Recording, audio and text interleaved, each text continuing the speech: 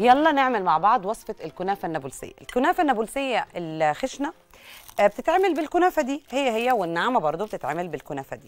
أنا بس النهاردة للأمانة حبيت أوريكم الكنافة دي. الكنافة دي في محلات دلوقتي بتبيعها لونها اورنج الكنافة النابلسية الخشنة بيتحط لها صبغة. فبقوا يحطوا الصبغة في العجينة. دي مطحونة. هي جت زي دي. آه بتتحط الصبغة منها وفيها علشان ده في المحلات يعني الحلويات بيسهل لهم إنه تبقى لونها موحد.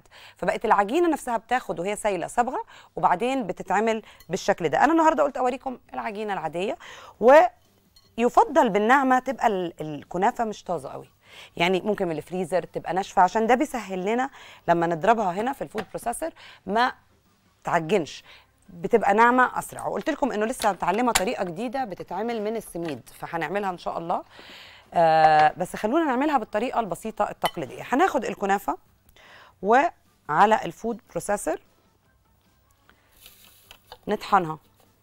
مهما حاولنا نفرمها بال بالسكينة أو بأي طريقة تانية مش هتنعم زي ما إحنا عايزين. فهنحط كمية هنا. والله بفضل اللي بتبقى ناشفة قوي وطالعة من الفريزر متكسرة. هي دي اللي هتتفرم معانا بسرعة. تعالوا ما نحطش كمية كبيرة. إحنا ممكن نعملهم على دفعتين.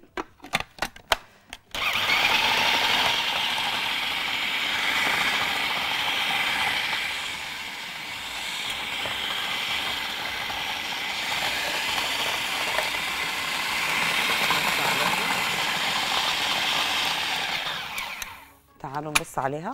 شايفين لما تبقى شوية طرية بتاخد وقت بالفرن. هنطحنها تاني.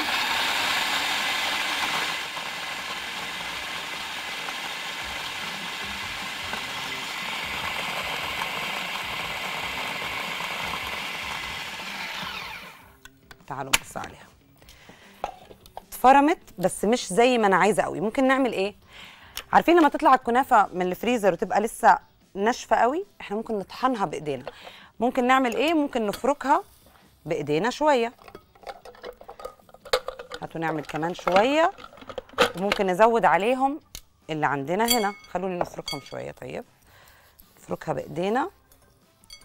وزي ما قلت لكم الكنافة الناشفة أو اللي طالعة من الفريزر هي أحلى حاجة للكنافة الناعمة.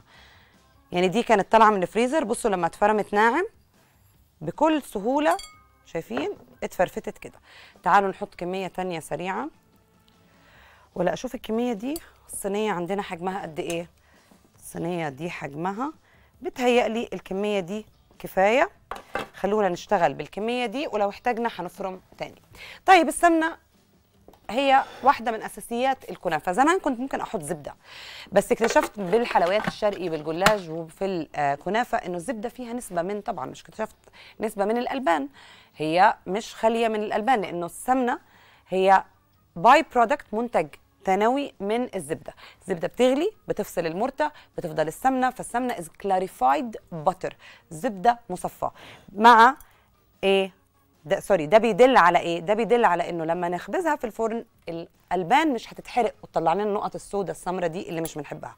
فالسمنة البلدي هي اختيارنا النهارده. أنا حطها على النار عشان تسيح. خلوني ألبس الجلوفز هنضيف مع السمنة للكنافة دي شربات. كمية بسيطة من الشربات هتساعدها إنها تتماسك وهتساعدها إنها لونها يحلو. فهاخد شوية من الشربات. كمية مش كبيرة يعني مثلا آه، معلقة كبيرة أو معلقة ونص. السكر اللي في الشربات هيديها كارملايزيشن حلو هي بتنزل بشويش فهي دي تقريبا معلقة أو معلقتين.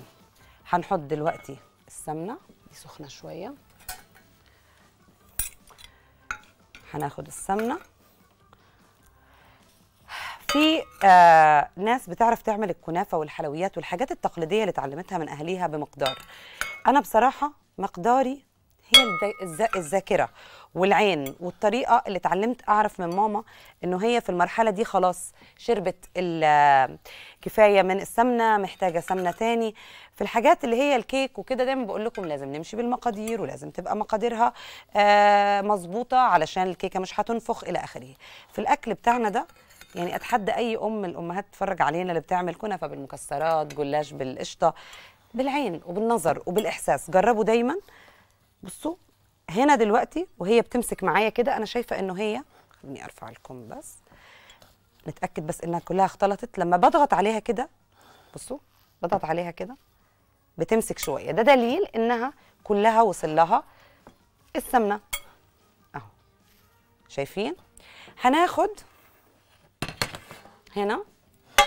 non-stick حاجة غير قابلة للالتصاق أو شفتهم وهم بيعملوا ال- الحلواني ال- بتوع. حلواني مش عارفة يا جماعة. آه حلوانية بيقولوا لي في الكنترول. بيدخلوا صواني الالومنيوم يحرقوها بالفرن. للكنافة. فسألت ليه؟ قال لك لما بتتحرق في الفرن يعني قبل ما يخبزوا الكنافة بدخلوها الفرن تتحرق ما بتلزقش فيها الكنافة. وناس كتير كمان بتستخدم النحاس. طبعا النحاس من أغلى الأواني الطهي بس المحلات القديمة كانوا بيستخدموا النحاس. هنعمل طبقة من السمنة وهناخد الكنافة نفردها.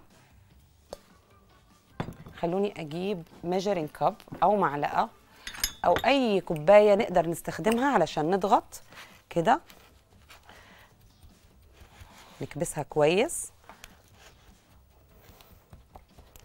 الكنافة اللي هنستخدمها sorry الجبنة اللي هنستخدمها المرة دي هي جبنة عكاوي.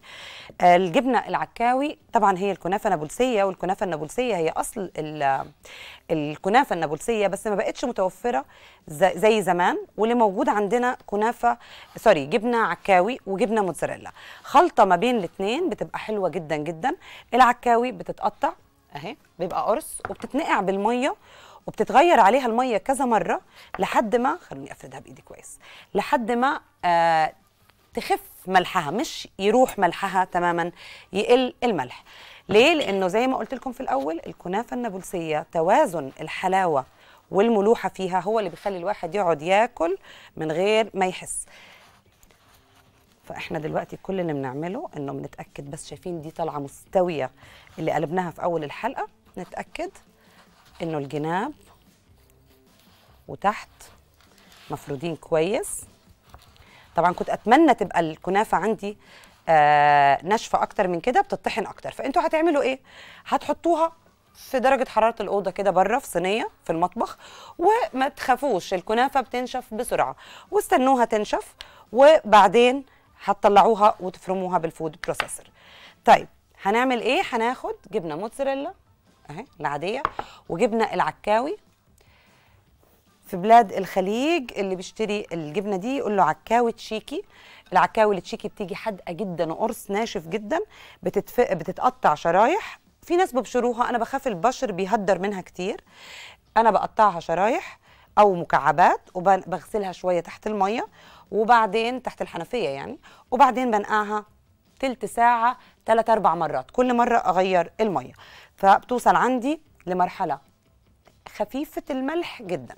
هناخد برضو الجبنة الموتزاريلا ودي اللي بتديها برضو مطاطية عالية ممكن تكتفوا بالعكاوي بس. الفرن درجة حرارته 180 على المروحة. تتأكد إنه الأطراف كلها كده مستوية. 180 لحد إيه؟ لحد ما الكنافة تشوفوها من فوق اللون بتاعها أحمر والجبنة ساحت وتطلعوها تقدموها. طيب طلعنا الكنافة مش هنقدمها دلوقتي. هنعمل إيه يا شيف؟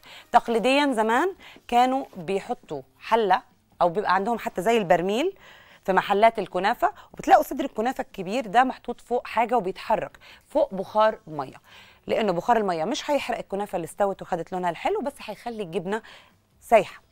دلوقتي في الميكروويف بس الميكروويف ما نقدرش ندخل فيه ساعات الأواني كلها فيفضل حله على النار لو إحنا عندنا ضيوف وعاملين بوفيه. حتى الشمعة اللي آه الفكرة الشمعة دي بتحرق لازم بخار مية فحله على النار تحتها شعلة صغيرة. البخار بيخلي الجبنة بعد ما تتقلب يعني دي مش دي دي تستوي نقلبها دي اللي تفضل على البخار.